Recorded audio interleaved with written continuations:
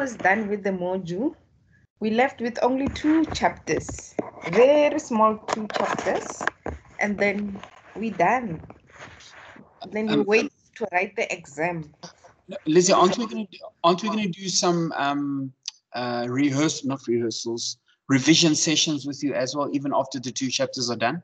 Oh no, we we still going to meet until we go write the exam. So we still We we're going to do still exam. have a long journey. We're I'm gonna just saying in terms of the content. We're going to do exam papers till they come out of our ears. Yes, yes. Donkey. So my plan is immediately after you submit your assignment five, then we know that you're done with your assignments. Then we start with the revision. So doing the revision, it means going back to the assignments, going through each and every assignment as part of the revision. That's one. After once we're done with all uh, 11 study units revision then we're going to do one exam paper together.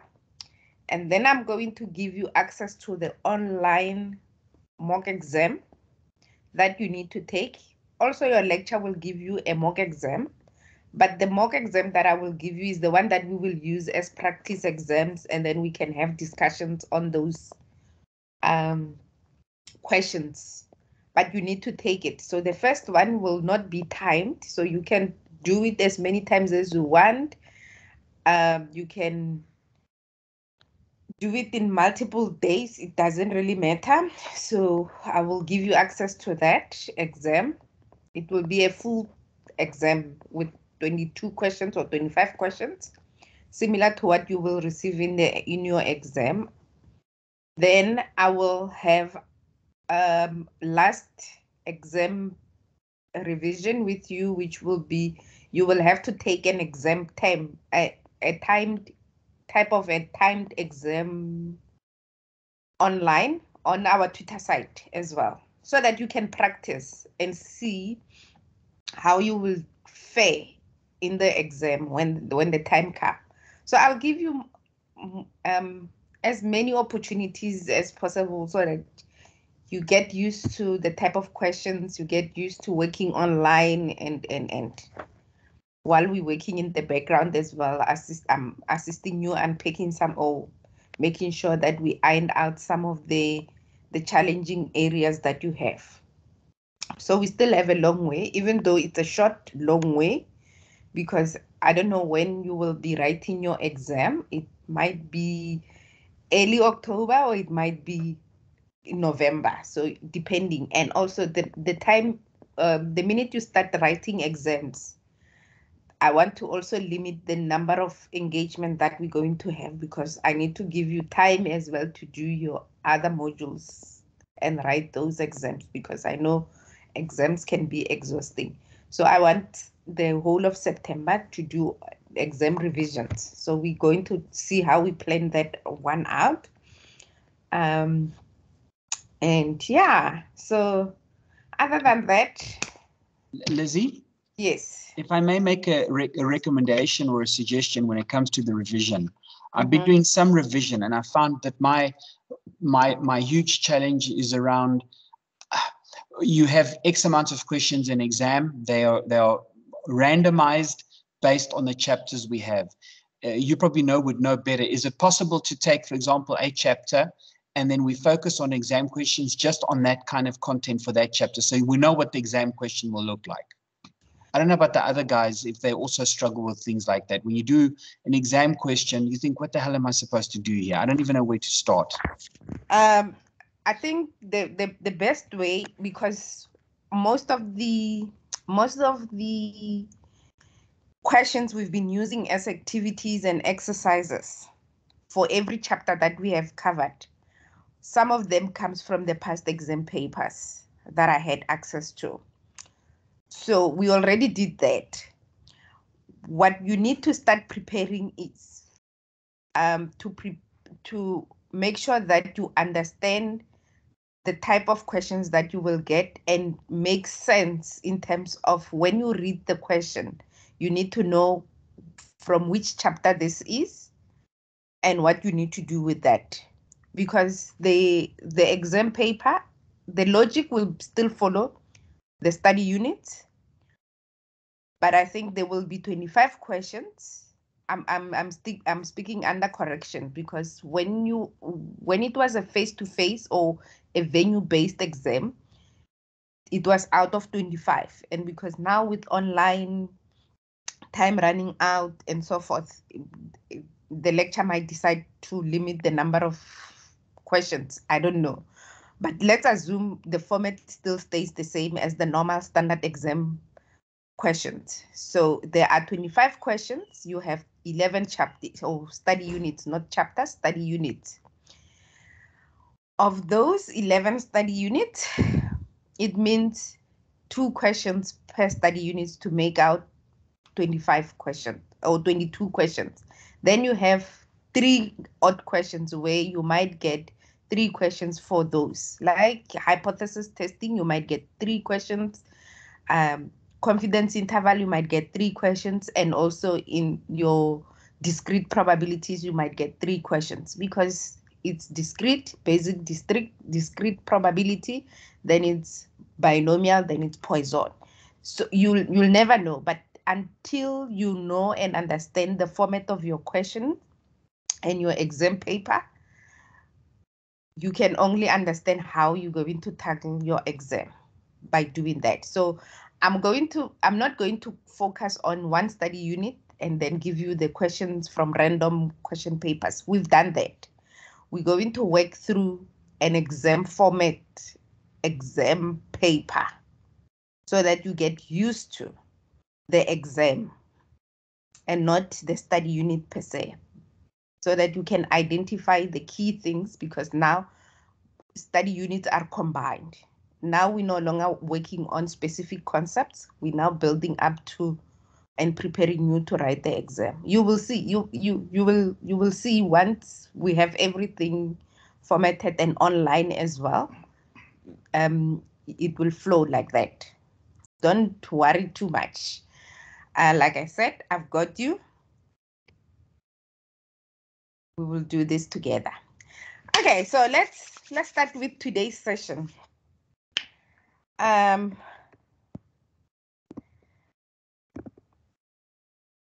so today we're going to look at study unit 10. You must also remember that you don't do ANOVA, which is if you're looking at your prescribed book, it will be chapter 10, which is analysis of variance. You don't cover that in your module. When we look at chi-square test as well, if you look at your your prescribed book, there are so many other chapters or sections within that. We don't cover all of it. The only chapter you need to worry or learn is chi-square of independence or chi-square where we use contingency table. so by the end of today's session, you should learn how and when to use the chi-square test for independence. So because chi-square test, like any other hypothesis testing, we with chi-square test, we're testing a relationship between two categorical variables. So with that, because we're testing the relationship,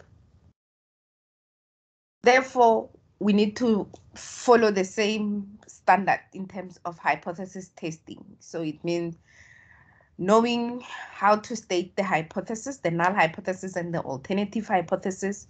We need to know how to find the critical value We'll need to know how to calculate the chi-square test statistic, and we need to know how to make a decision and then conclude.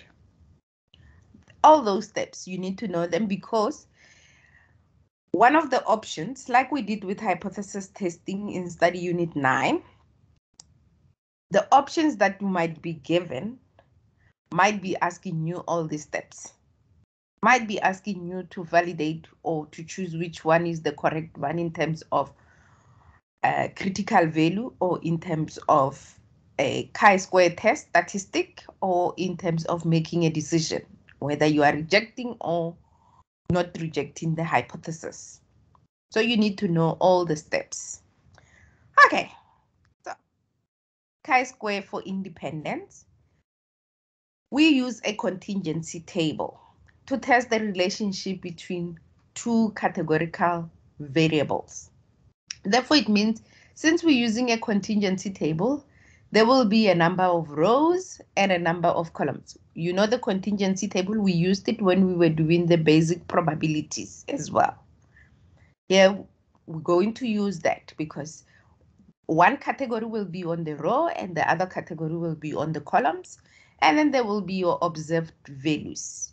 And then we can calculate some proportions from the which or we can calculate what we call the expected frequencies, and then we use those to calculate the test statistic, and then we make a decision.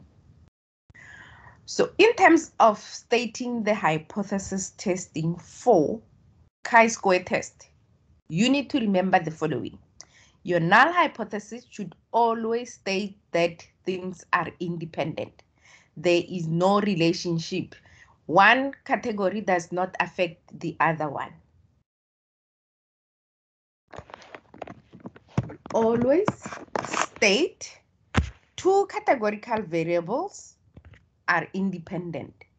If we were looking at the rain and gender, then we will say rain and gender are independent. That's how we will state the null hypothesis. The alternative will be the opposite of that. Then the alternative will say they are related, but we're going to say male and, oh, sorry, rain and gender are dependent. Therefore, it means they what they depend on one another. One affects the other, or one has a bearing on the other. There is a relationship between the two.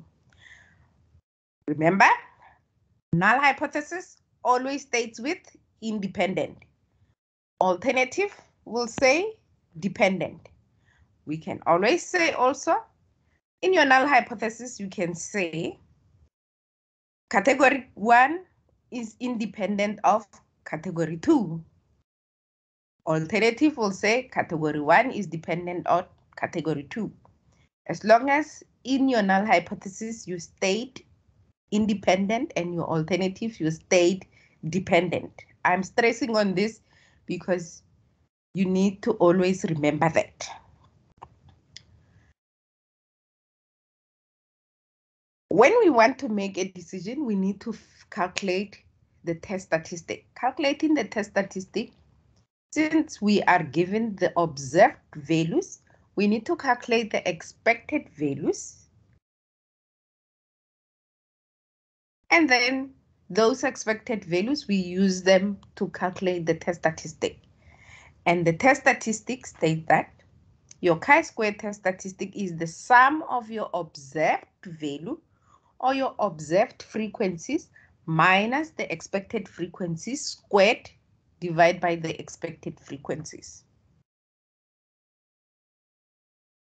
And once you have calculated that test statistic, we're going to use that test statistic to compare it to the critical value. So therefore it means the critical value of a chi-square test.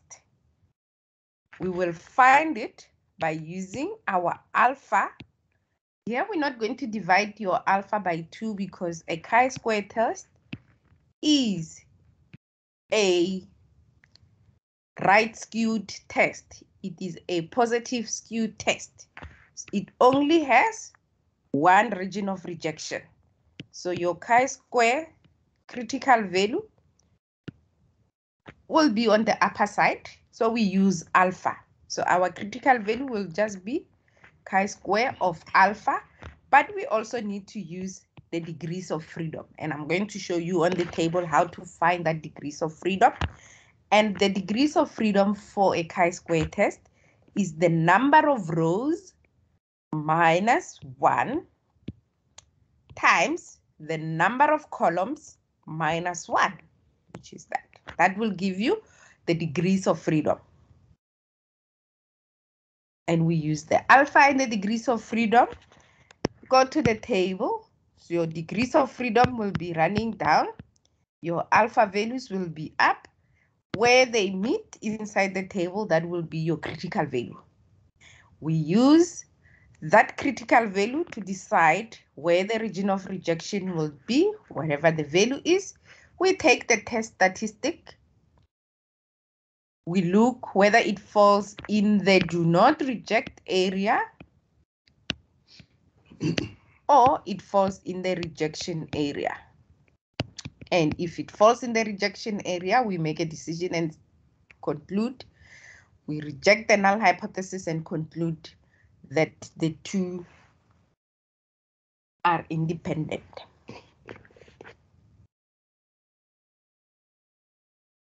Okay. How do we then calculate these expected frequencies? Calculating the expected frequencies, easy. We look at the row total and the column total. So if you get a contingency table, let's say I said rain and gender. So let's say when it when it's gender, in this instance, we're going to use the two that we are familiar with. It's female and male. And when it's rain, whether it's raining yes or whether there is no rain. Days where it's raining, yes, or days that it's no rain, there's no rain. So when you get a contingency table like this, if they did not calculate the total, you need to calculate those total because you're going to use the totals. Because to calculate the expected frequency, we use the row total times the column total divided by n, which is your grand total.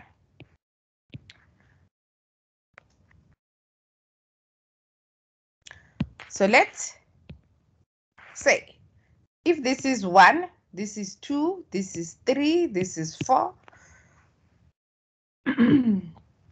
when you are given the observed values, you just calculate the total by adding all those for female, whether it's yes or no. You say 1 plus 3 or 1 plus 2 is 3. 3 plus 4 is 7 and your grand total, your n will be equals to 10. You do the same for the column because you need the column total. So this is your column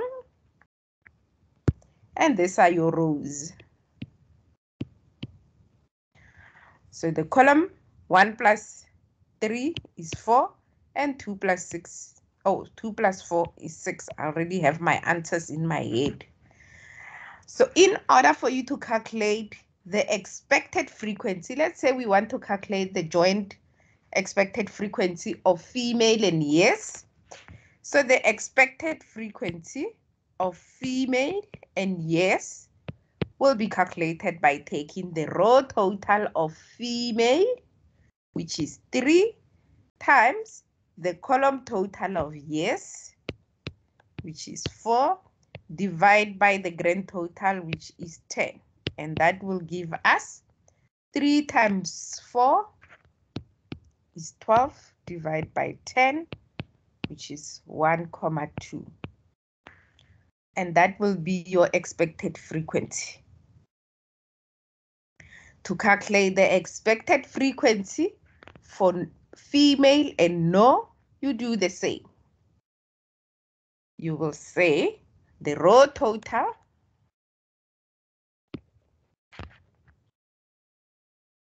So if I want to calculate,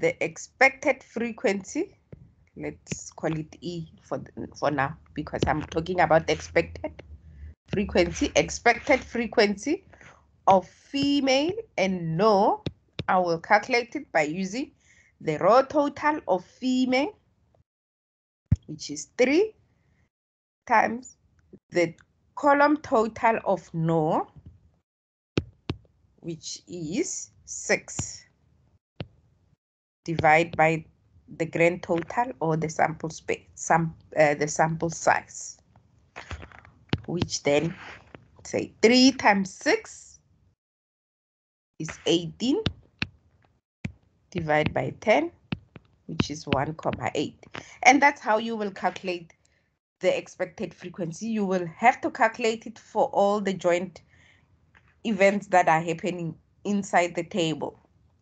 Once you have your expected frequencies then you can calculate your test statistic.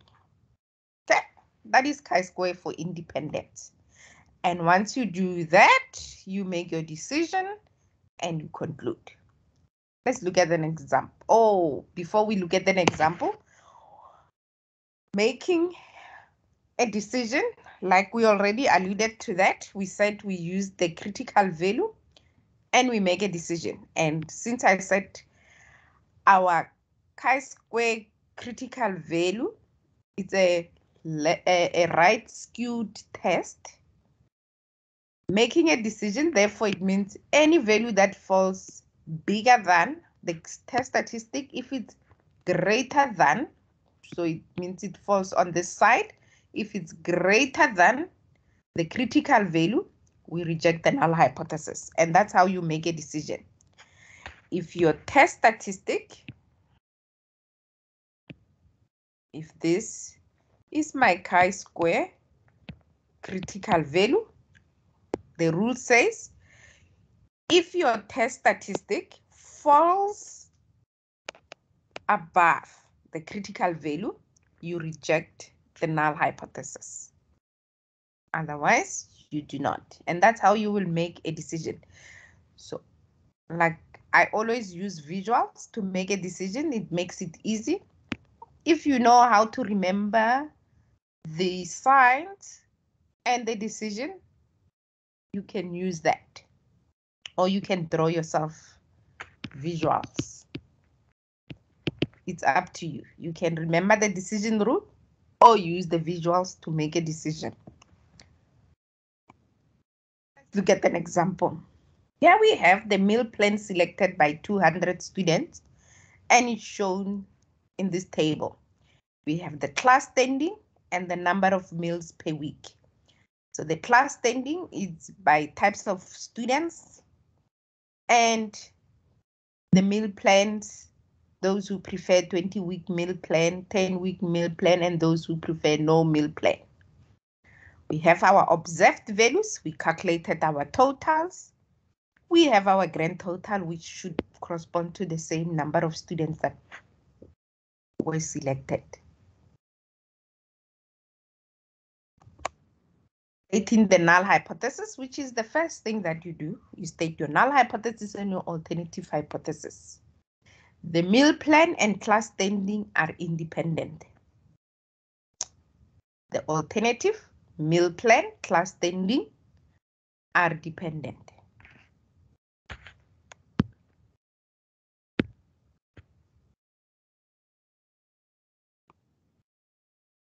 We need to calculate the expected frequencies because we will need the expected frequencies when we calculate the test statistic. Remember with the six steps of hypothesis, we say state the null hypothesis, state what you are given, and calculate whatever other measure that you will require to use to answer the questions coming up. Then find the critical value then calculate the test statistic, and then make a decision. So the same thing here. So we first going to quickly calculate the expected frequencies. In order to calculate the expected frequency of fresh men and 20 week plan, we're going to use, so if we want to calculate the expected frequency, expected frequency of freshmen and 20. Oh, my pen is spitting out. And 20 weeks is row total. So my row total is 70 times my column total, which is 70, divide by 200. And that will give me, I think, 7 times 7 is 49. Uh, let me use my calculator because now I cannot use my brain anymore with big numbers. 70 times it's 4,900 divide by 200 and that gives us 24.45 to do 32 expected frequency for 32 expected frequency for freshmen and 32 we use the row total 70 multiplied by column total 88 divide by 200 and the answer you will get will be 30.8 and you complete the whole table. Like similar to this 4, junior and 20 week for 10 row total is 30 times 70 divided by 200 and we get the expected frequency of 10.5 which is that. And all the expected frequencies are done. When doing a chi-square test statistic this is a good test statistic you can do even to test um, the relationship of variables for any type of work but you need to always be very mindful that your your number of records in the cells should at least be more than five in order for the chi-square test to work properly. If you're like I use the example there where I had one and two and three and four, that's not the normal way of using a chi-square test. Your number of um, record or observed value, your n should always be greater than five in order for the chi-square test to work. Okay, so now since we have our observed values and our expected values, we can then calculate the test statistic. We have the sum of, remember the sum means adding all the values. So it means repeating this multiple times for all the records. The observed minus the expected squared divided by the expected. Coming here, observed is 24 expected is 24.5 we need to square it divide by the same expected which is 24.5 so your observed and your expected should always correspond. What i always do you will see when we do the next example. Instead of creating another column which might complicate things or creating another table, I always write my expected values next to my observed values. So this will, instead of creating this, I would have created my expected year so that then I know which values I must substitute where. So you just write all your expected next to your observed so that you know that 24 will subtract 25 and divide by 24.5 again. And you do for all the values, add them together, plus you go to the next one, which will be 32 minus 30.8. And you square the answer and divide by 30.8 and plus and and and and until you complete the whole table. Then you do the summation of all the values and calculate and find your test statistic. And in this instance, our test statistic is 0, 0.709.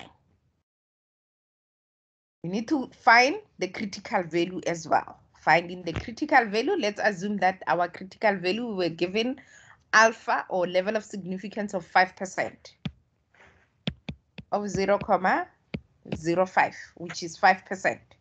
So therefore, we need to go and find the critical value, chi-square of alpha and the degrees of freedom. Our alpha value is 0, 0.05. Our degrees of freedom, which is our row total, So our degrees of freedom, which is the row, not the row total, the number of rows minus 1 times the number of columns minus 1. So if I go back to this table, just to clear all my ink.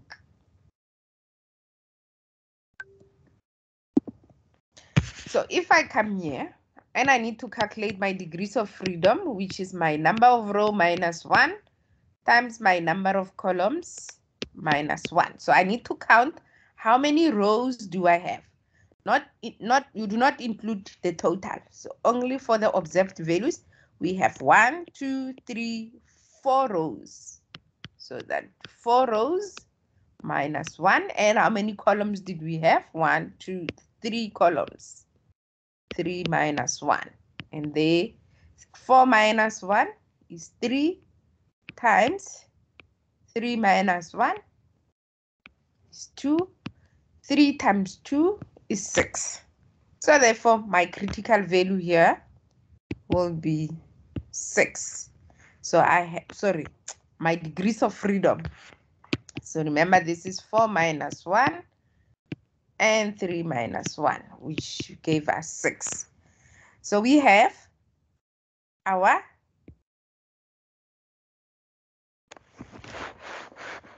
critical value. We need to go find it on the chi-square table. Bear with me. I just want to make sure I need to I think I, I'm not sharing my screen. Let me share my entire screen.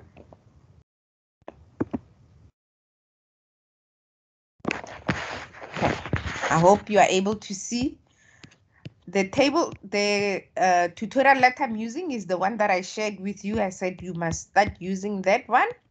So let's go find our chi-square test. So I'm just going to make it smaller. So this is the T distribution. The table is also called chi-square, critical values of chi. So it's not called chi-square. So you just need to remember that the x squared is your this chi, chi, chi, chi. This sign, chi, is the one that we're looking for. So this is the table.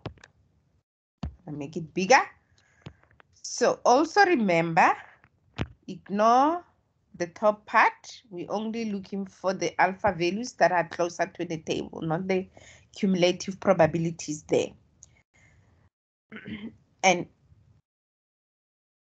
our degrees of freedom, remember we're looking for chi-square of 0, 0.05 and the degrees of freedom of 6. So our alpha value of 0, 0.05, we go find it, that column there. Our degrees of freedom, which is 6, where they both meet.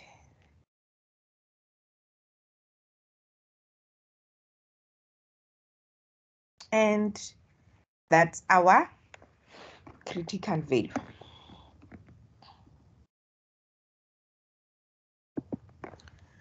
And our critical value is 12,592. Now we can go and make a decision. Draw a graph for yourself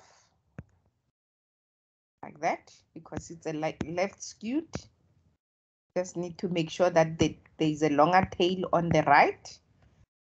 And this will be 12, comma 592. That's where my critical value is at.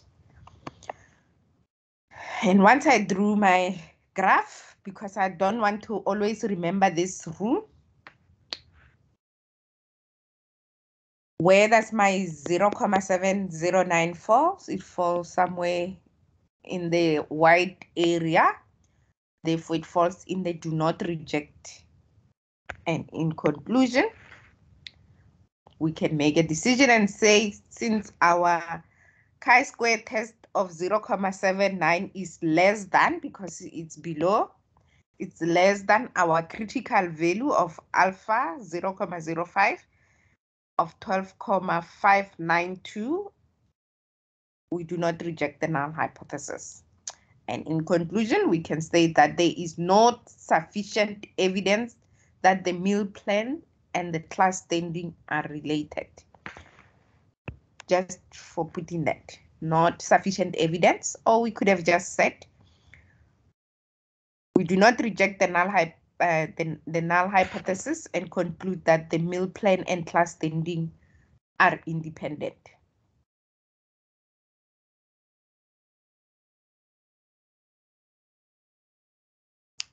And that's how you make a decision and conclude. Any questions? We'll look at another example.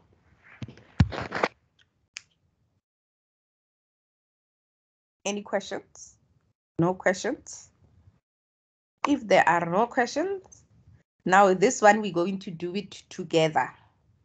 According to the Center for Disease Control and Prevention publication, HIV and AIDS Surveillance Report, the number of AIDS cases in South Africa in 2007, classified by gender and race, use the information shown below in the contingency table to test whether there is a relationship between gender and race.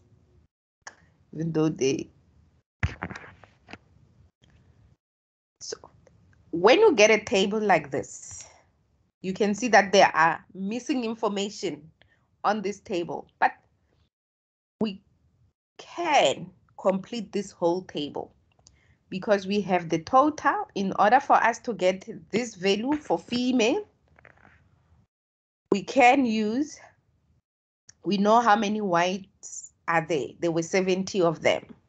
So therefore if we know also that there are 40 males who are white out of 70 we can subtract. So here we can say 70 minus 40 and it will give us the answer for that one. Make it easier for us to complete the whole table. On the total for male regardless of what race they are we can just add them. 40 plus 32 plus 48 and we can calculate that. And once we have all the values also including 32 and 48, you can add that. It's 32 plus 48. And the total, grand total here, you can either use that because it will be 250 minus those values. Or you can say 250 minus 70 plus 32 plus 48 will give you the answer for that one. Okay. So I want you to complete the total of all of them. So take out your calculator and calculate. We'll do step by step. I want the answer for female. What value do you get? 30. 80. 30. Um, what value do you get for blacks? What total do you get for black? So it means it's 32 80. plus 48. 80. 80. And we can do 250 minus 70 plus 80 to get the total for Indians. 100. Are they hun- 100? So my 100. I think we'll have a problem. My my values are wrong on the slide. And uh, calculate Indians, females, 52.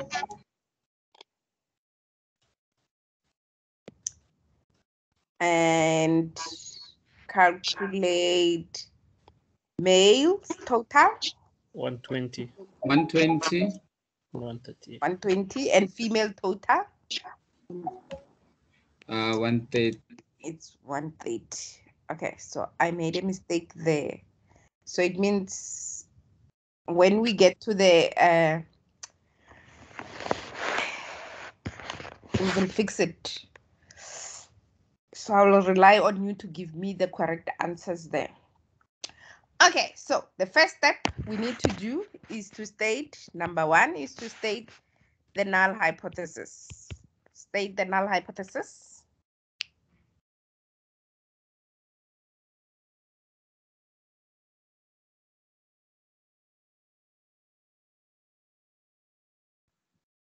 There is no uh, Nope, um, relationship. nope, No. Okay. nope, Is Always- it 250? nope. Always, always state it And either with gender are dependent or independent. Pardon? The race and the gender independent. Race. Gender and yes. race. Yes, race and gender are independent. Don't fall into the relationship part. Always remember that. In the null hypothesis, we always state it with independent, and your alternative will be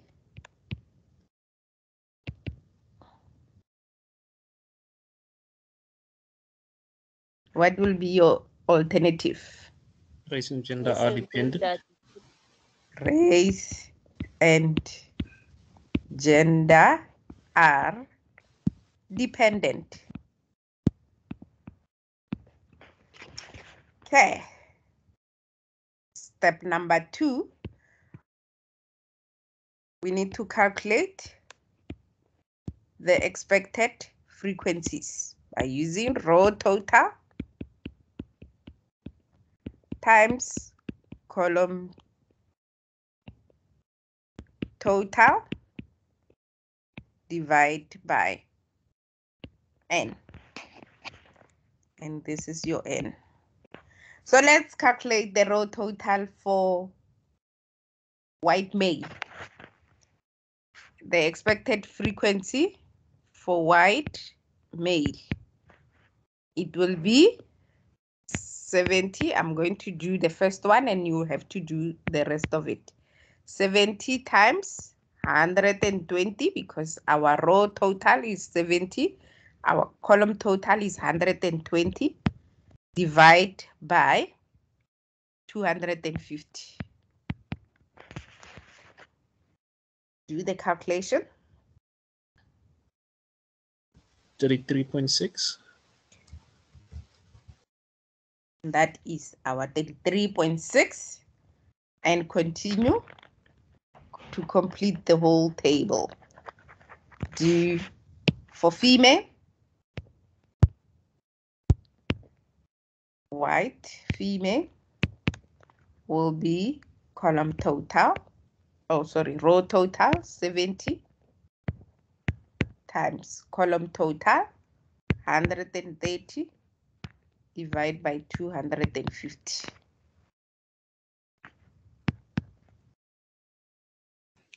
Thirty-six point four.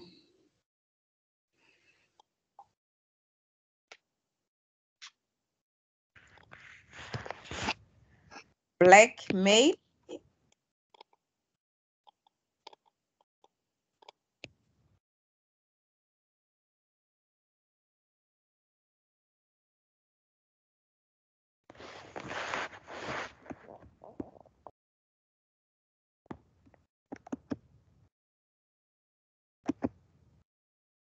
Thirty-eight point four.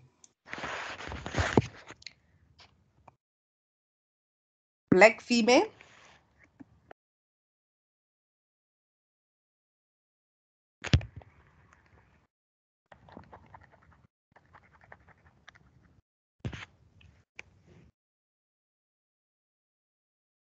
Forty-one point six.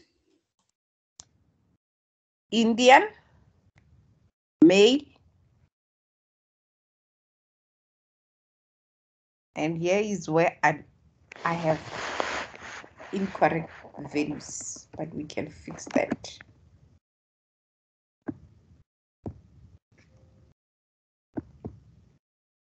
Forty-eight.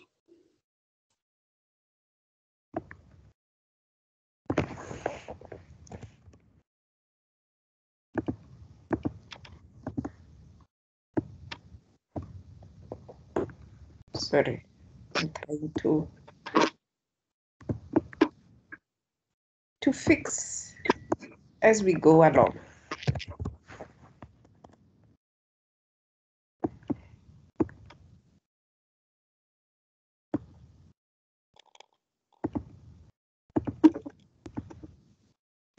Oh, come on.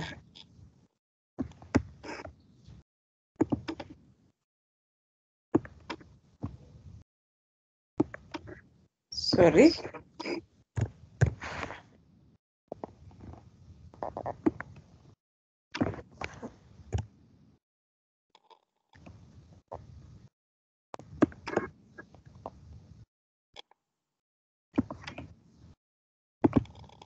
Just wanna go back to where we were. Okay. Oh, sorry. And me, uh, Indian female, 52. 52. that will be 52. So now we have our expected frequencies and we have our observed frequencies. Step number three is to calculate the chi-square state, which is the sum of your observed minus your expected. You can see that I'm no longer using the frequencies, but it's one and the same thing. Observed value minus the expected divide by the expected.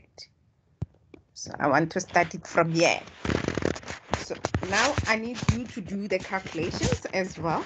So the first value it's 40 minus 33.6 squared divide by 33.6 plus 30 minus 36.4 squared divided by 36.4 plus 32 minus 38.4 squared divided by 38.4 plus 48 minus 41.6 squared divided by 41.6 plus 48 minus 48 di- oh, squared divide by 48 plus 52 minus 52 squared divide by 52. Do the calculations.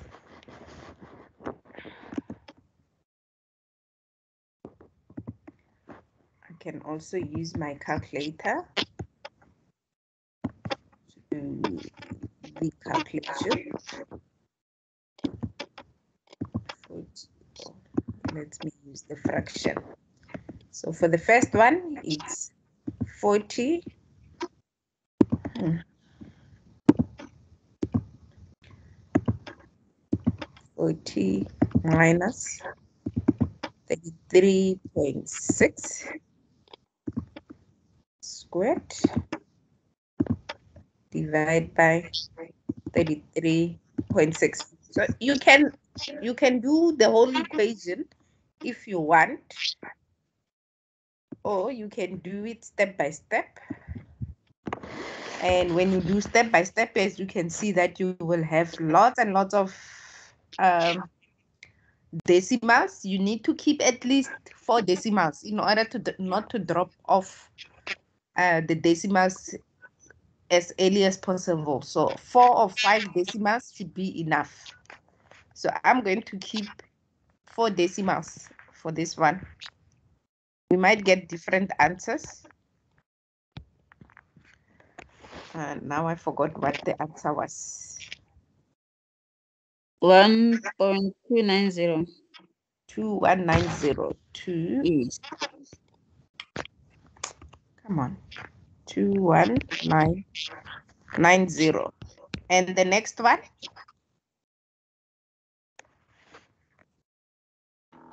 One point one two five. You will need to to give it to me slowly so that I can write it. One point. One, two, five. Oh, you said.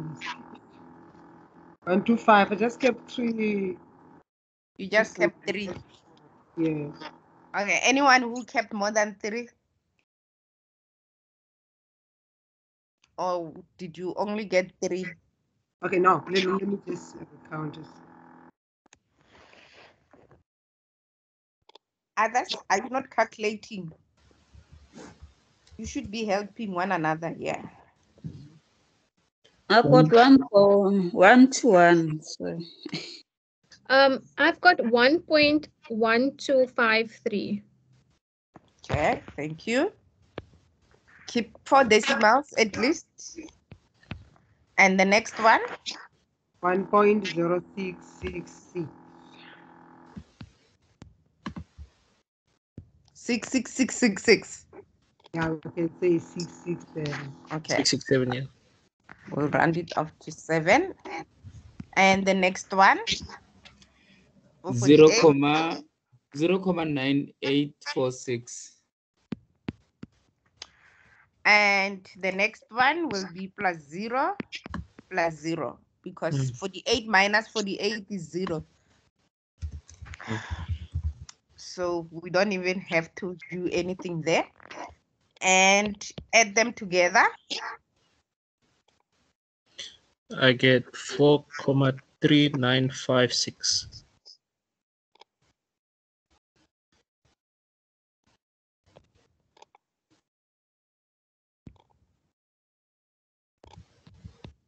Okay, so that is our test statistic. That's number three. Um, Lizzy, five, three, nine, five, six, Three, nine, five, five, six. six, not a four. Oh. Three, nine, Five. five. Yeah. Five, six. Okay. So now we go to step number four, which is making a decision. So remember the rule? I can write the rule here. It says if my chi-square state is greater than my chi-square crit, I will make a decision. I will reject the null hypothesis. But then it means it, I need to go find my critical value first before I make a decision. So this is a rule. So let's go find the, uh, this is a rule. It's not the final thing. Let's go find the critical value. So finding the critical value or our information here is not full. So let's say at alpha of 0, comma 01 at 1%. So if we want to go find the critical value, sorry, critical value of alpha and the degrees of freedom, and the degrees of freedom, and we know that our degrees of freedom is number of rows minus one times number of columns minus one. So our chi-square alpha, our degrees of freedom, how many number of rows do we have?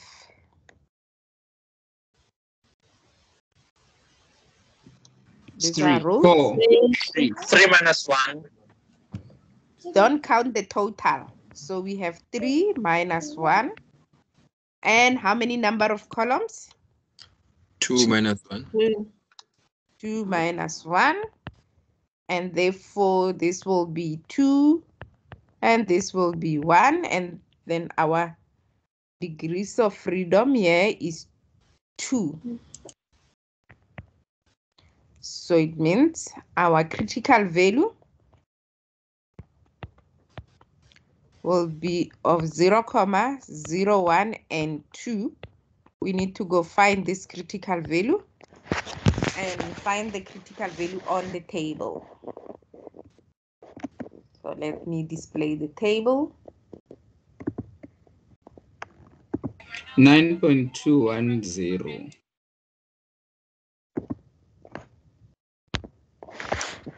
So we're using that column that.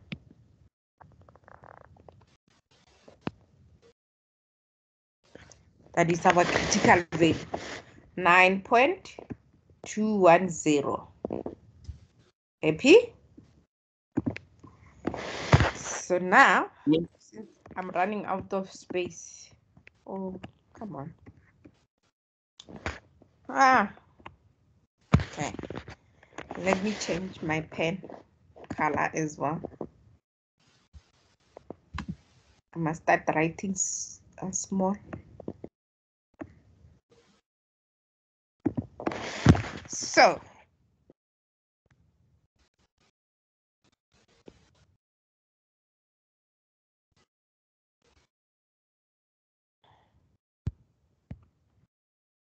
anything that falls in that shaded area, we're going to reject. We found that our critical value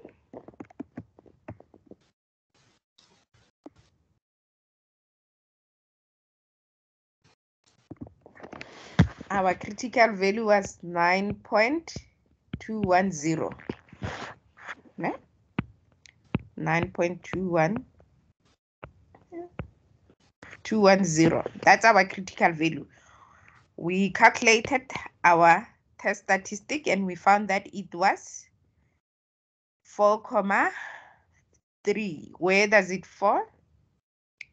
It will fall somewhere in the do not reject area. So we can make a decision and when we make a decision, we use the rule.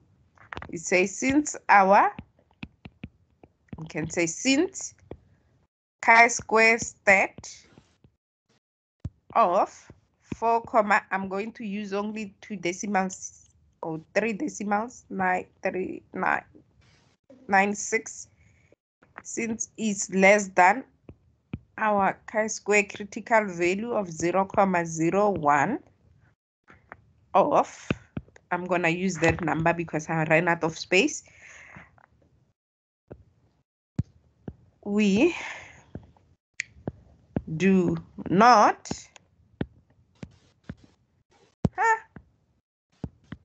reject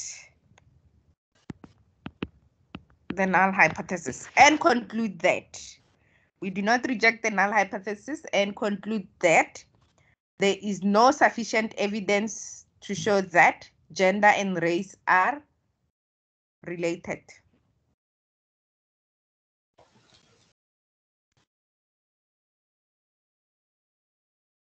And that's how you make a decision. Or we can say we do not reject the null hypothesis because gender and race are independent since we're not rejecting the null hypothesis. Easy, ne? Any questions? Yes, Lizzy. Yes. My problem is there on the first question. I was trying to get this race and gender are independent. How do you know? How do you figure out that statement? The statement, always know that for chi-square test, it's always independent in your null hypothesis for the two categorical. The two categorical variable, you will state the hypothesis using the independent statement. That's the only, th- it's easy, straightforward. It's not like with the other hypothesis testing where you al- always have to un- um, understand whether is it a two-tailed test or a one-tailed test, whether must use a less than or greater than, whether there should be an equality sign to it or not. Here, straightforward. Contingency table, chi-square test, null hypothesis, independent, independent. independent null hypothesis. No, it's fine. If it's always independent, then I won't have any, like Always, always. it's okay. Okay. Yeah. Okay, so now it's your turn to do the talking.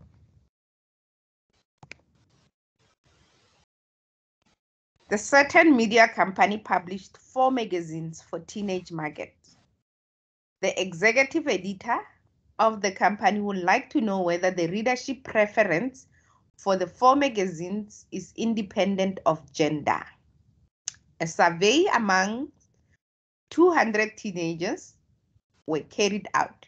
The following contingency contingency table was obtained, and there is your contingency table. Before I look at all the statements, what is missing with this contingency table? Total. The totals. The totals. So you will need to calculate the totals for this contingency table. Which one of the following statement is incorrect? Number one, the expected value. So it means you will have to calculate some expected value there. So you need those totals. Number two, uh, please mute. Number two, the null hypothesis, which age not, is gender and magazine preference are independent. Remember, we're looking for the incorrect statement. Ne? The alternative states gender and magazine preference are dependent. Number four, degrees of freedom is three. Number five, the chi-square curve is symmetrical. We're going to answer all of them so that we just make sure that we understand. So I will ask you to just quickly calculate the total because we need the total to calculate the expected value of youth and girls.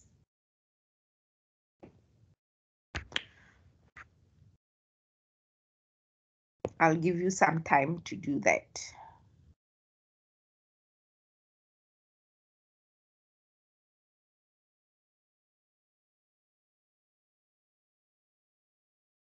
And I'm going to ask you to calculate all the totals because you will need them for the next exercise. Exercise two is related to exercise one. So calculate all the totals. Total for girls is 78. 78.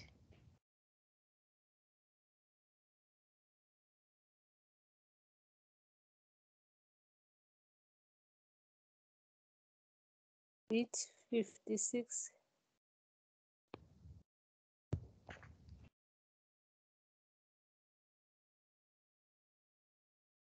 Youth 38.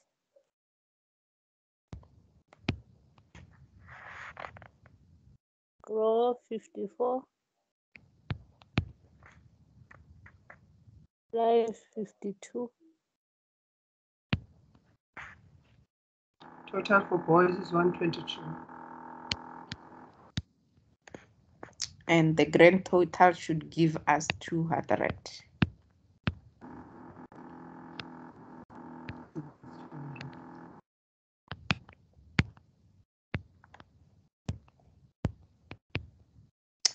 Okay.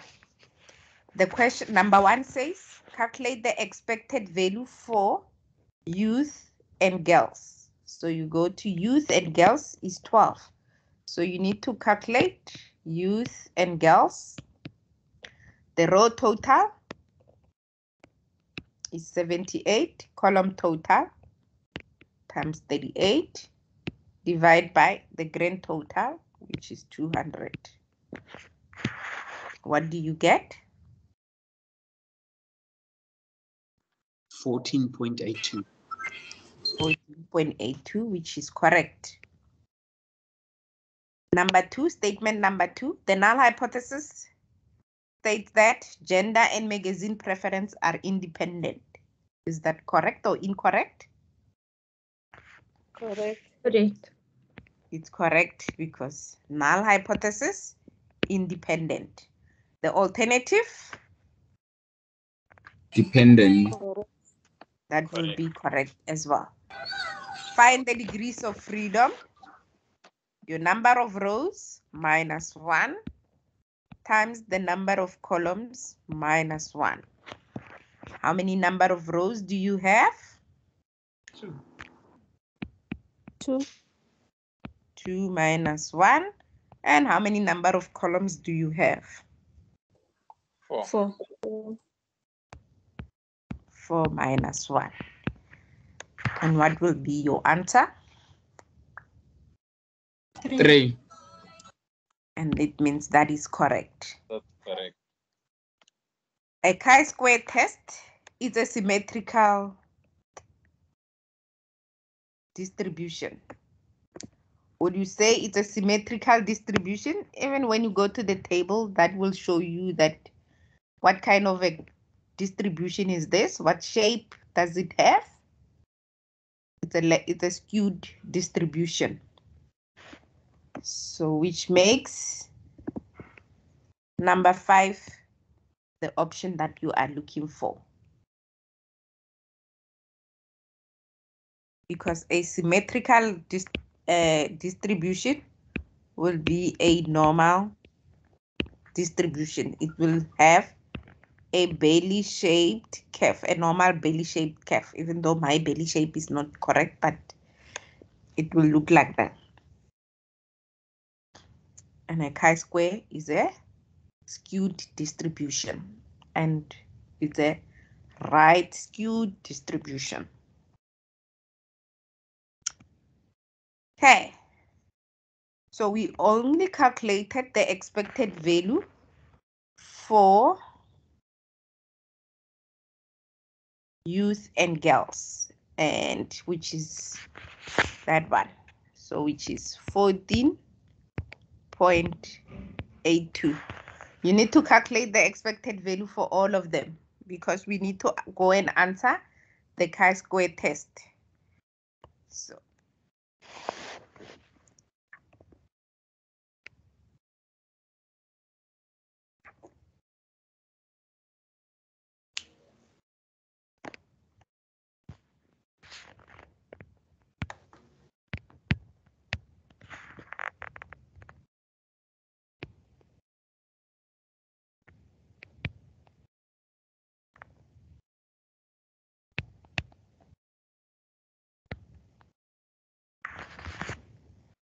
did I replicate them correctly?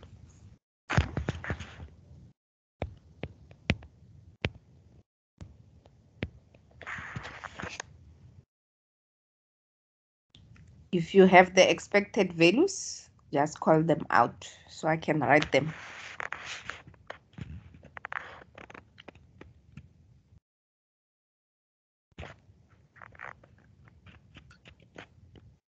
So the first, the very f-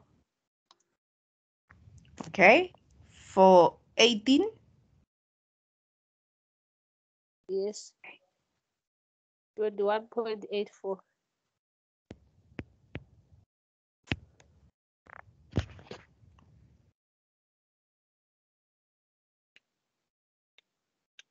for 20, it's 21.06.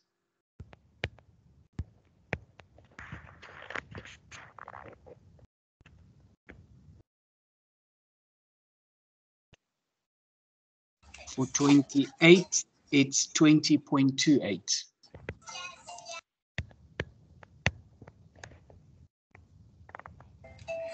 For 38, it's 34.1.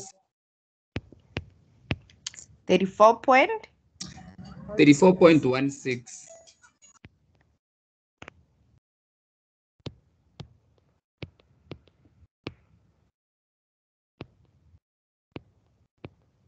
For 26, it's 23.18. 23 or 28, 23. 23. 2, 3 point, One 1, 8, eight. One eight. One. 1, 8. For 34, it's 32.94.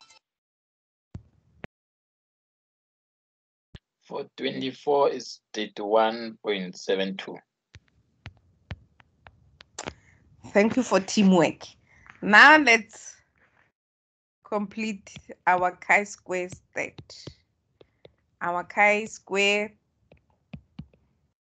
test statistic 18 minus 21.84 squared divided by 21.84 plus 12, that's 12, minus 14.82 squared divided by 14.82 plus 20 minus 21.06 squared divided by 21.06 plus 28 minus 20.28 squared divided by 20.28. It's gonna be a long, long one. So I just completed the first line.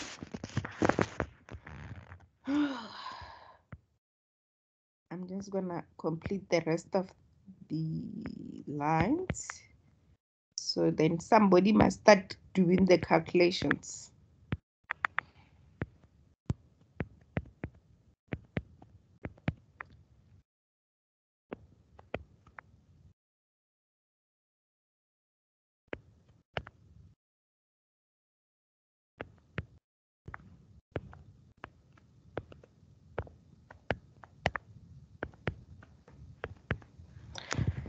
I'm gonna use the bottom.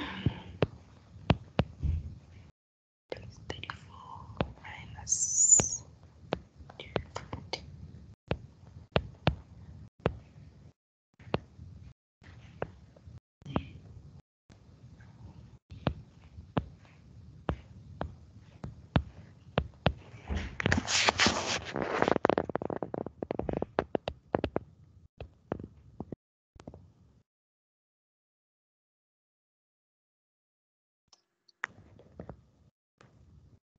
So I got 6.8916.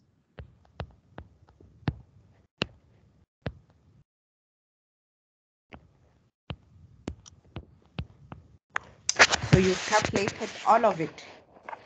Yeah, but uh, guys must please check for me. Oh, that's my Yeah. answer number three. Yeah, I got the same. Six comma eight nine one six. Number three, yo. Number three. Six comma eight nine one six. Do we all agree? Or are we still calculating? I'm still calculating. I don't know how they got it so quick. Excel on fire. Excel spreadsheet. Ah, Wow. Ah, okay. No, they say that the laziest people are sometimes the most creative. So Wow. Yes. Are you willing to share that spreadsheet with us, maybe? Probably we can also share that spreadsheet on um as part of yes. we can do that. Okay. So mine, mine is a little different. I have a calculator that has a stacked uh, menu. So I, I have values I can manipulate and move them around. Oh.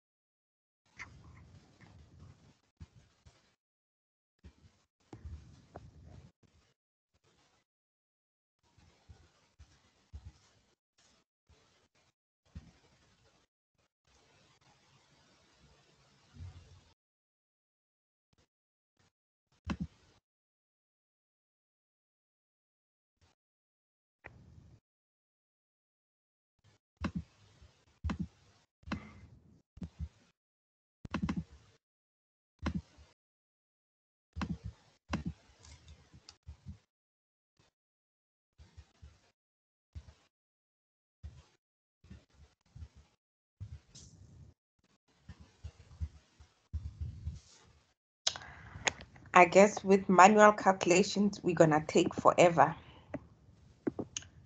to get to the answer.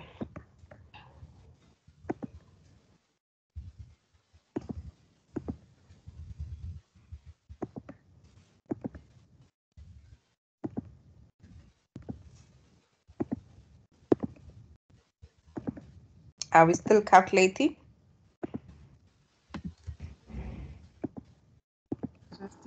Yep. Okay, let me know when you're done.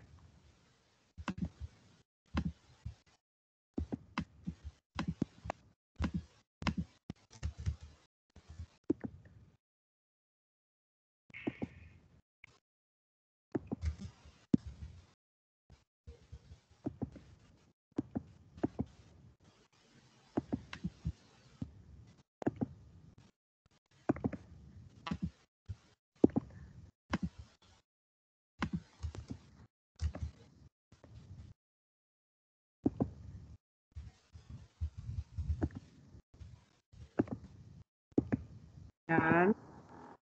Okay, I'm done. I've got 6.892. okay.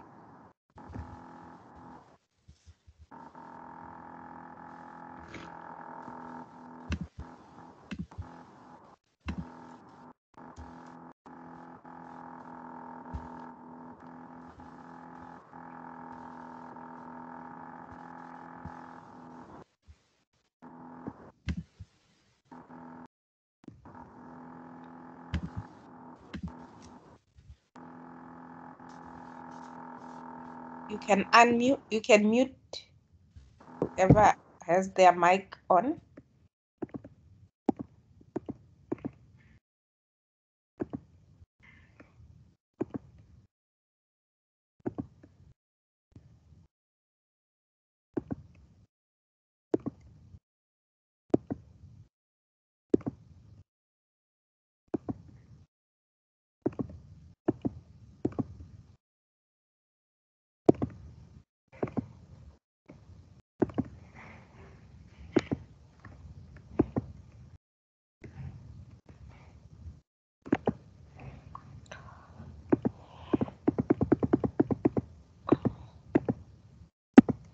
Okay, so with the Casio, you can uh, do up to three digits, up to three, three values before it allows you to continue. So yeah, so it will take you forever. Okay, can get the answer for the three, which is 1.2. Six, five.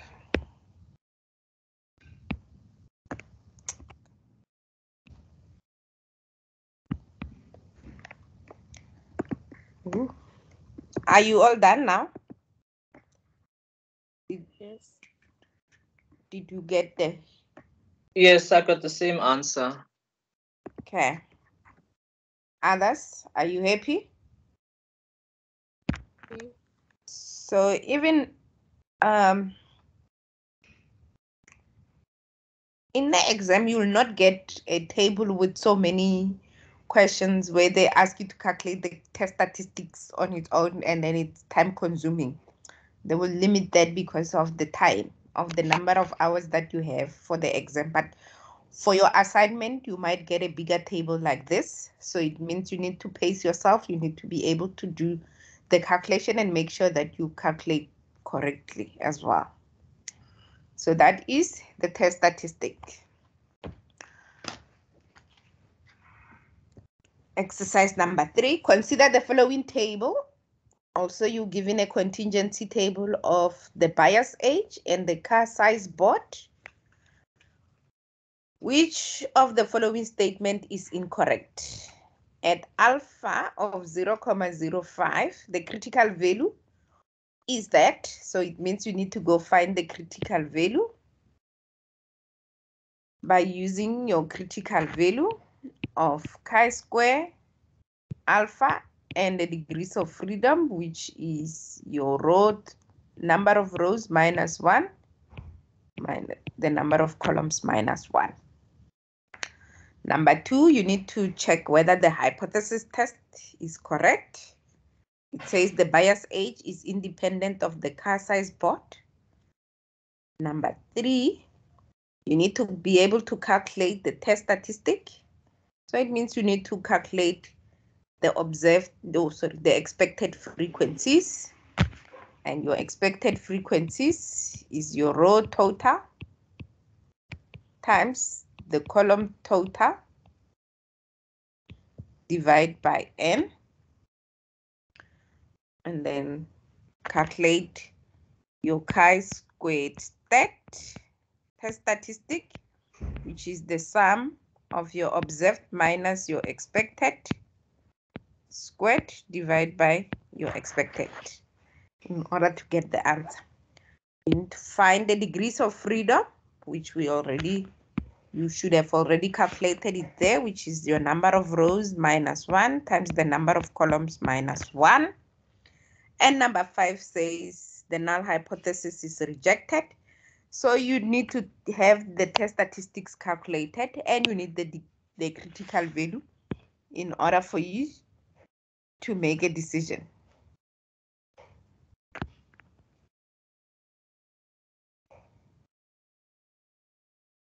In order for you to make a decision.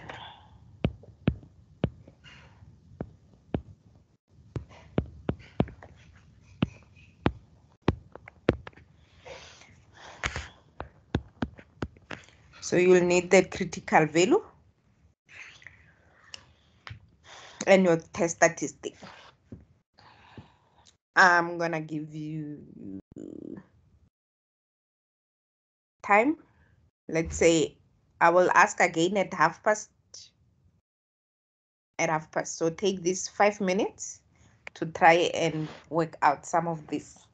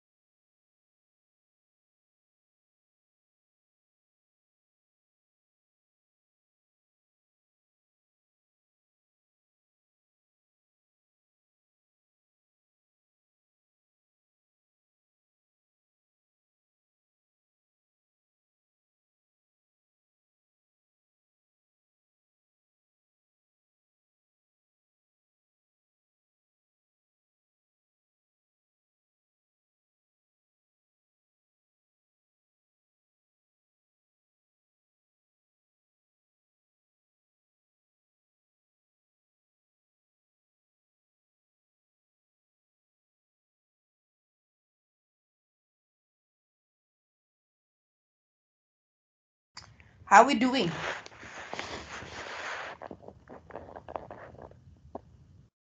Can we answer the ones we already have? Yes, let's do that. And then we can do the others. So number one, at alpha of 0, 0.05, what is the critical value? So did you find the degrees of freedom? Yes, it's four. Okay. So the number of rows, there are one, two, three. There are three, ne? Yes. And the number of columns, there are also Okay. three. So that will be two times two, which is equals to four. So that is our degrees of freedom. So you need to go to the table. We need to find of 0, comma 0, they- said 0, comma 05, ne? Yeah. We need to Yes. find 0, comma 05 and 4.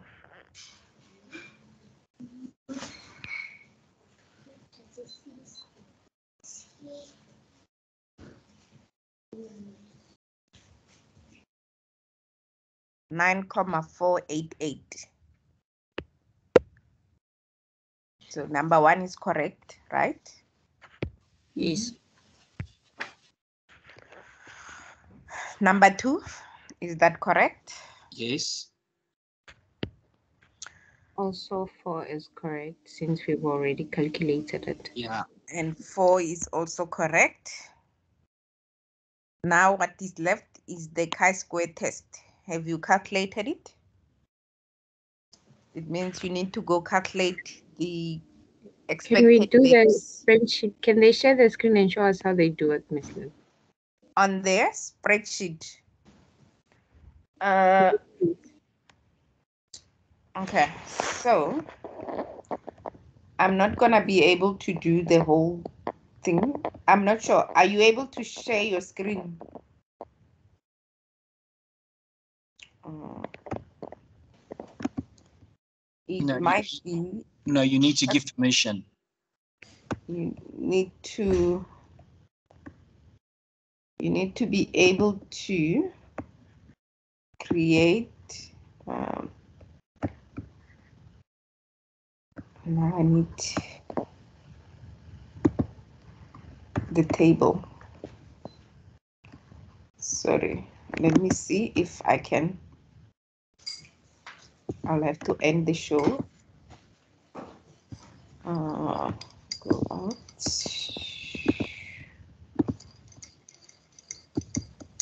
Okay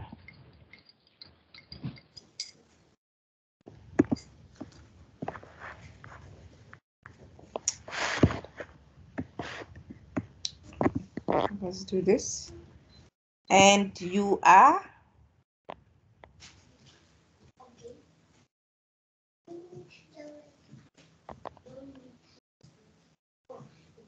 who am I giving permission to?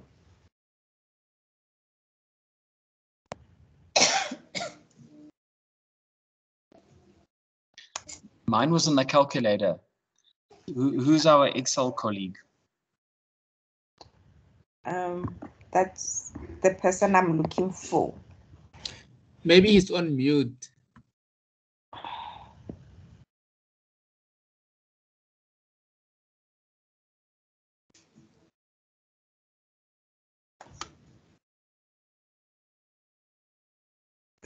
Um, the person who said they are using the spreadsheet, I want to give you permission to share your your screen. But I don't know who is that.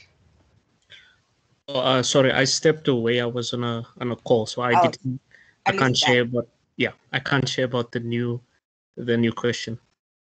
But I can show what I did with the old one if that will help. But I don't.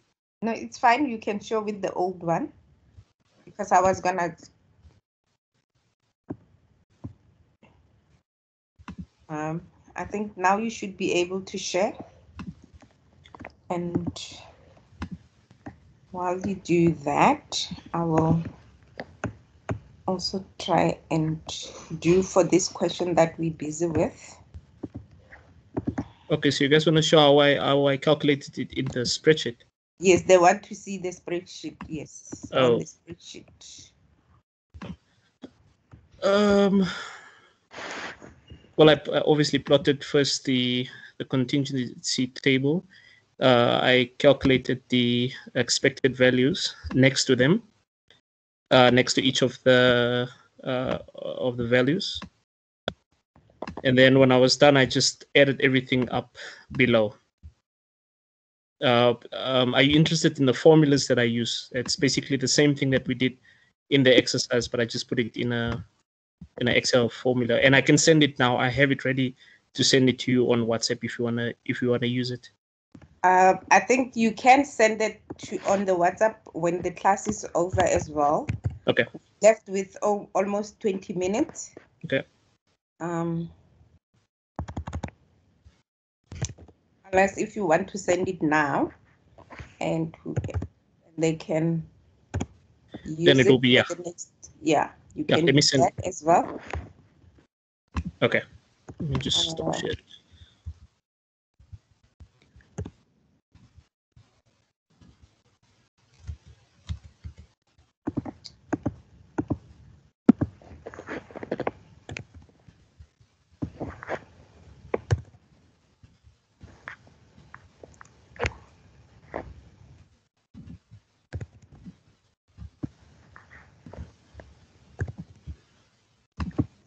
Okay.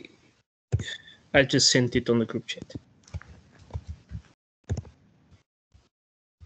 Thank you very much. Thank you. Welcome. If you need any help, uh, you can uh, text me on the side.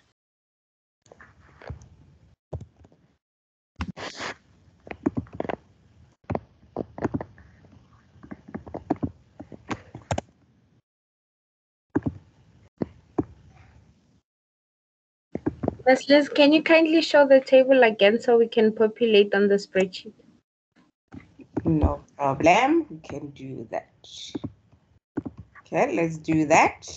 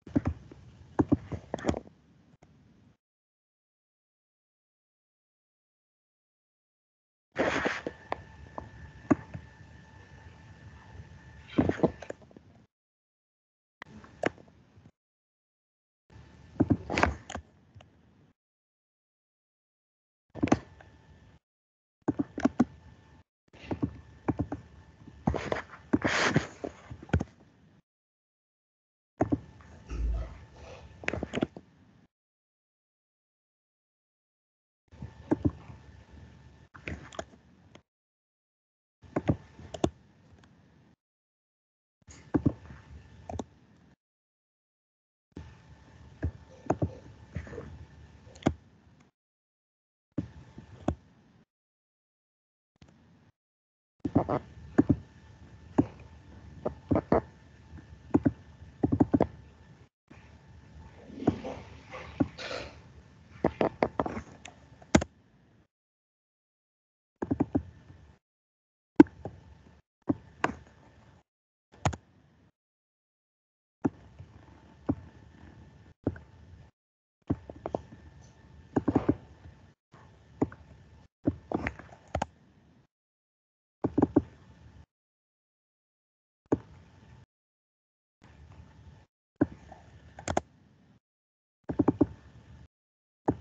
Are you winning?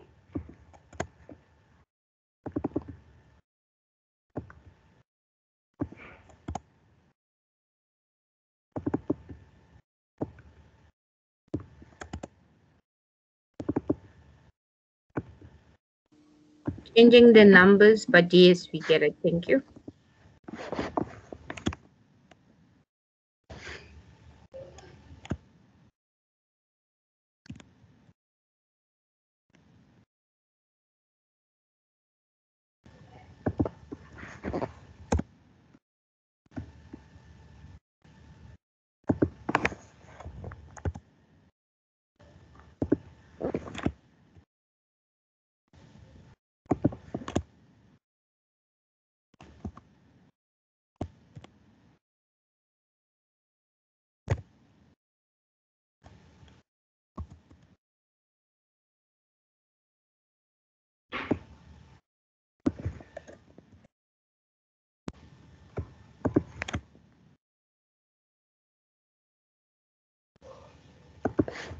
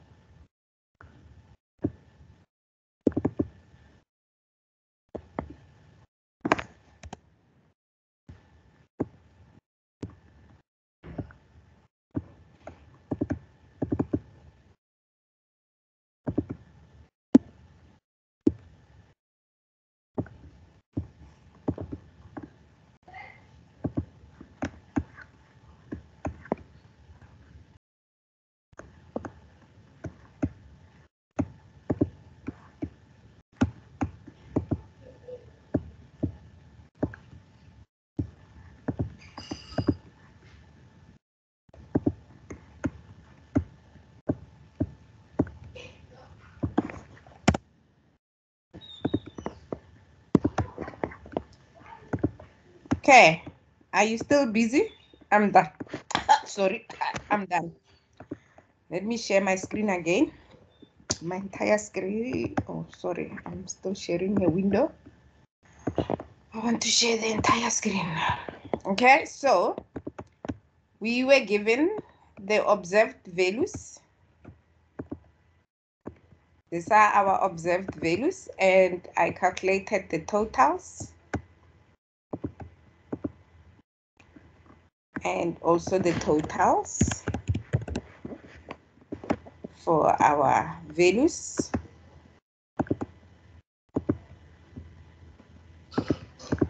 There are our total for our observed.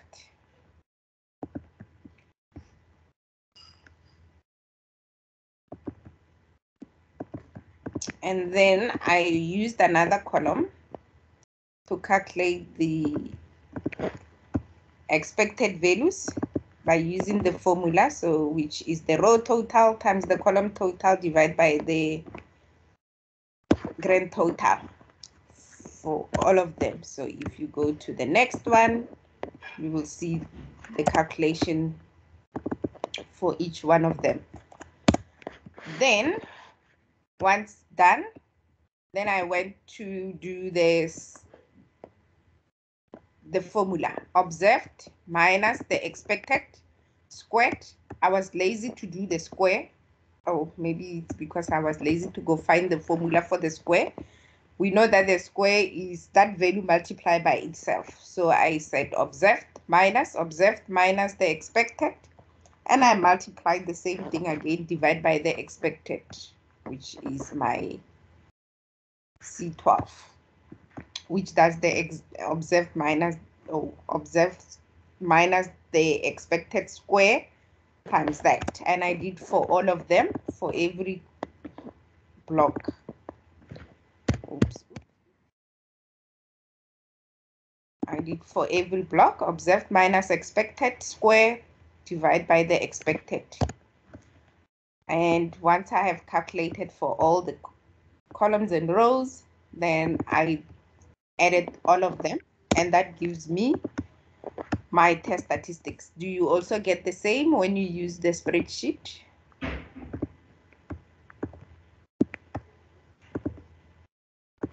Did you get the, the same answer? 14.62.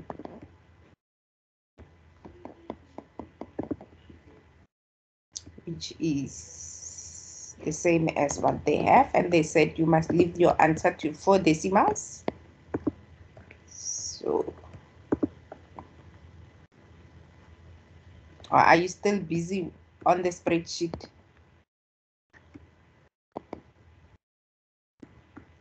Hello?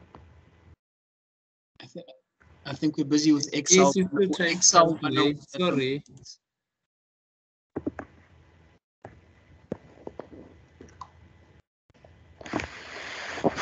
Okay, let me open that Excel. I have to because I'm going to fiddle through my my laptop. Let me download it as well.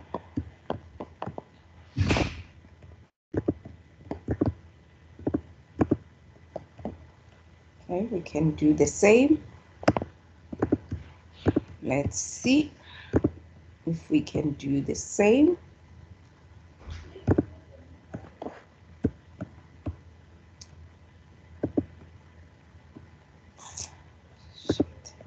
Now you see my messages. Okay, I just want to repl replicate the same. So in terms of this, we have three columns. So you just need to make sure that you add another row and change this to under 30, 30 to 45, and over 45. And then do the same at the top. We have small, you need to know how to use Excel to do this. So you need to change that to small. And this is medium. And this will be mid. And this will be large. And that will be large. And because we don't have these last two columns, there will be zero there and zero here for the sake of the formulas as well to keep everything still intact. Okay, and we're going to add the observed on the color coded. You add the observed 10, 24, and 45. Everything should work out. Need to adjust the formula because the formula only look, looked at the two columns. You just adjust your formula by dragging and press enter. It should be for all of them now. And also I can just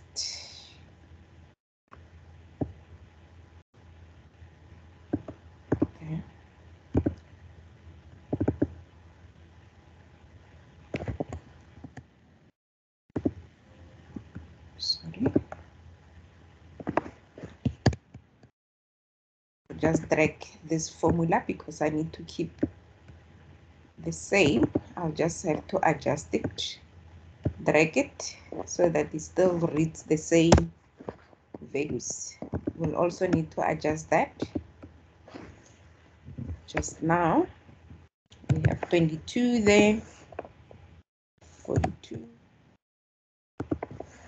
and 35. And you will just need to adjust your formula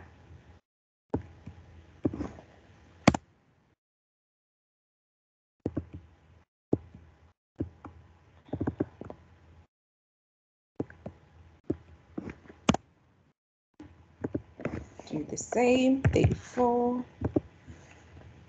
48 and 40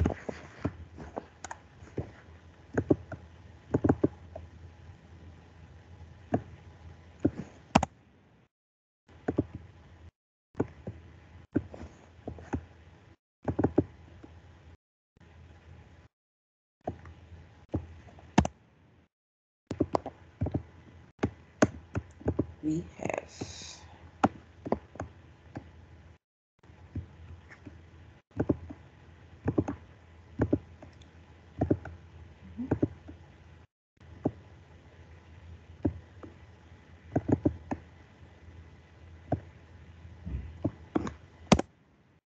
So 300 and I guess also here we'll have to adjust because there are three now I have to add the third line.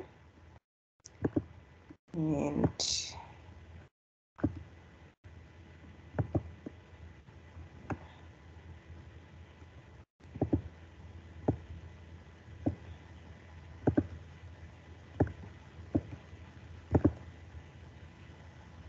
don't have to worry about that one. So this doing the square just drag the formula it should work. It takes your observed minus your expected square divide by the expected which works fine. And so on this one it will work fine.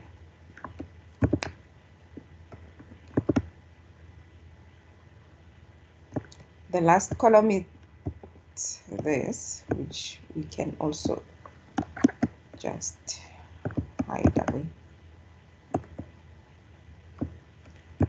Because we don't need that. And this we need to add.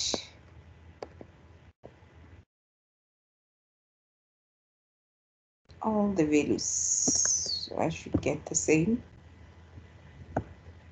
Can just adjust it like that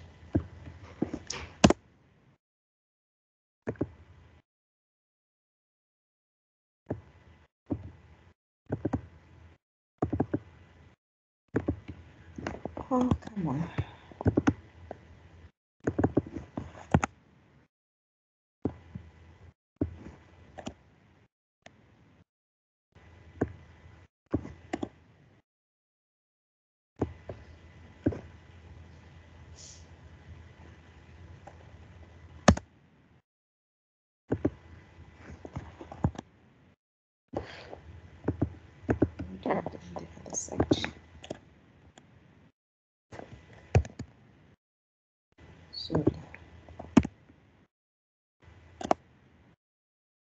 some reason doesn't want to add up the values.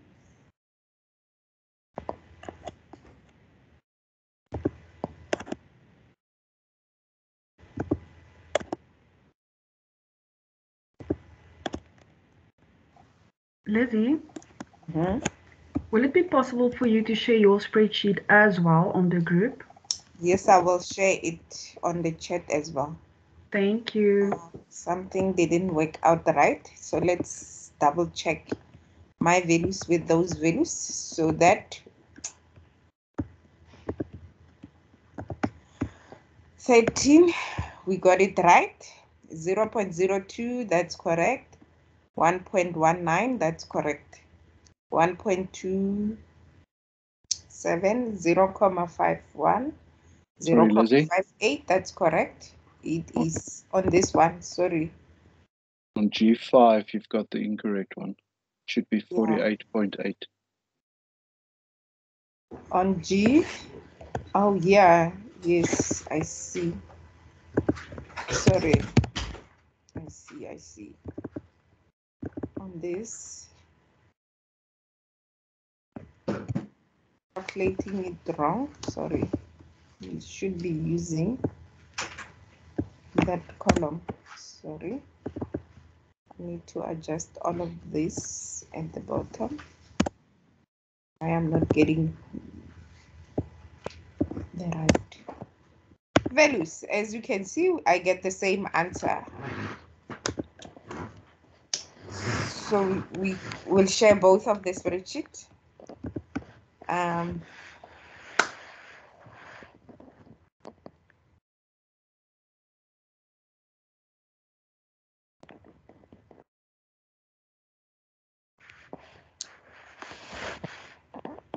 Lizzy, you must start offering Excel courses as well. I do actually. Oh, you do? Okay. I do. As part of the facilitation of learning for UNISA, I do offer classes for research analytics and basic statistics, and we do a whole lot of things other than just discuss um, content because it's literacies. So we we do also offer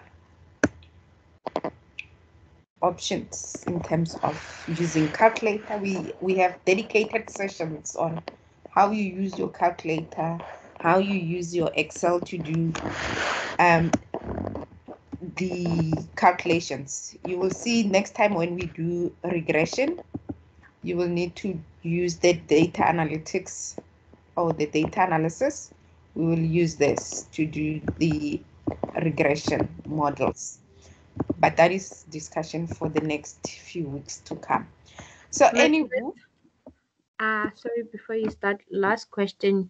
You converted the um, decimal to four decimal places. Can you show us also how you do that? okay, so um, on the tab, there is a number tab. There are arrows here with decimals, so it increase or decrease decimals. You can use that. Thank so you. this will increase the decimals. If you press it, you will have more decimals. If you want to reduce them, you just use that. Also, you need to pay attention to your spreadsheet as well because depending on your spreadsheet, how you you have um, formatted your spreadsheet. Sometimes some spreadsheet you use a comma as in like a comma comma this comma. Uh, on my one, my decimals, which are my commas, are points. And I think also on eight, um, Alistair's one, decimals are points. So it works fine. So yeah, that is to reduce the options. Okay, so going back to our presentation slides.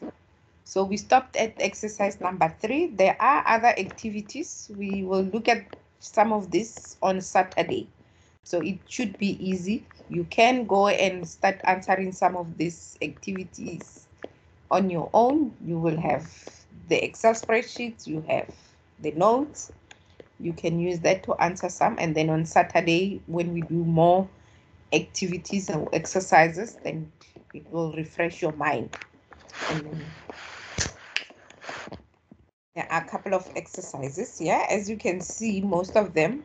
Okay, so for exercise four, you need to calculate the chi-square test.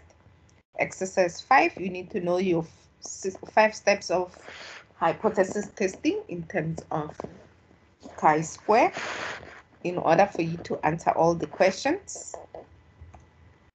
Also, exercise six, you need to know all your steps of your chi-square hypothesis testing in order to answer which one is the correct one. And the next one as well. So there are a couple of questions on here that you can go through. Just to conclude, because we left with one minute, you have learned how and when to use chi-square test. We have done the calculations. Always remember that with chi-square test, stating the hypothesis testing, the null hypothesis, always we state it with independent. The alternative will state dependent, which means is there a relationship between the two categorical variables. You also need to be able to calculate or find the critical value. Remember your critical value, you find it on the critical value for chi critical value of chi square. And we use the alpha and the degrees of freedom. And your degrees of freedom are your number of rows minus one times the number of columns minus one. You also need to be able to calculate the chi-square test and we shared with you the tools that you can use to calculate the chi-square test, whether you use the Excel spreadsheet or you use the formula the way we have calculated it in the notes. Which means you also need to be able to calculate your expected value, which is your row total times your column totals divided by the sample size or the grand total. And you should be able to make a decision by looking at the rule, which states that if your test statistics is greater than your critical value, you're going to reject the null hypothesis. With that, it concludes today's session. Any question, comment, or query? I have a feeling this assignment is gonna be better than the others. Hey. All right. So if there are no more other comments or questions. Uh, sorry, Liz, I have a question. Yes. I Uh-huh. see assignment three is open again. So Okay. if let's say I didn't do well on assignment three, can I attempt again? Or it's for those who didn't do it at all? No, if you still have submissions, if you still have, if you didn't use all your three attempts, then you can do it. So as long as an assignment is open, you can redo it, as long as your attempts are still there. So if you only did two attempts, Yes. now you can do your third attempt on it. Oh, Thank you, thank you so much. Yes. So also the assignment four is extended. If you haven't used up all your attempts, you can remember you can do you can use up all three of them. The highest score will be captured. So take your chances. Like with assignment five coming up, like I always say, the first submission, use it to get an idea in terms of what type of questions are there on your assignment. Uh, I'm going to, let me first stop my recording and then I'm going to talk to you. Just wait two, two more minutes. Um, thank you for coming through today. Uh, let's stop the recording. Because I, we don't want to get into trouble.